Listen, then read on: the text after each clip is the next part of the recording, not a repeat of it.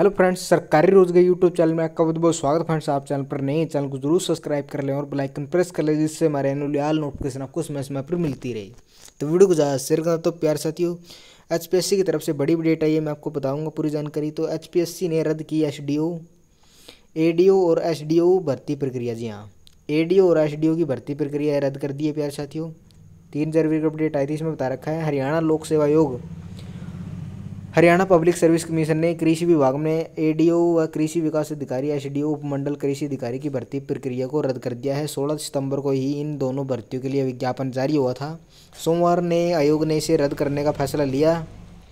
प्रशासनिक कार्यों के चलते भर्ती को रद्द किया गया है। दूसरी ओर, हरियाणा कर्मचारी चयन हरियाणा स्टाफ सिलेक्शन कमीशन भी कई भर्तियों के लिए होने वाली लिखित परीक्षाओं को स्थगित कर चुका है। पटवारी, ग्राम सेवक दो हज़ार तीन सौ पचासी पदों के लिए लिखित परीक्षा होनी थी, लेकिन इसे आगे बढ़ाया जा चुका तो बारह से चौदह दिसंबर को ये परीक्षा होनी थी, फिर भी इसे बदलकर छब्बीस अठाईस दिसंबर किया गया।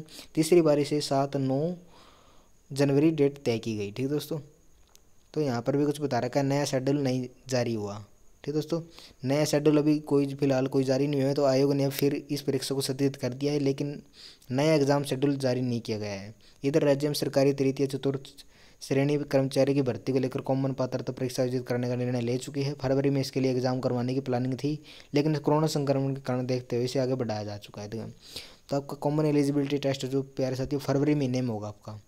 ठीक है दोस्तों, फरवरी महीने में आपको होगा तो आपने तैयारी कर लेनी है। इसी के माध्यम से आप है, अन्य भर्ती में आप भाग से, भाग ले सकेंगे पार्टिसिपेट कर सकेंगे, उनके हिसाब से आपको लगाया जाएगा। ठीक है दोस्तों तो मिलते हैं नेक्स्ट वीडियो में। जय हिंद, जय भारत।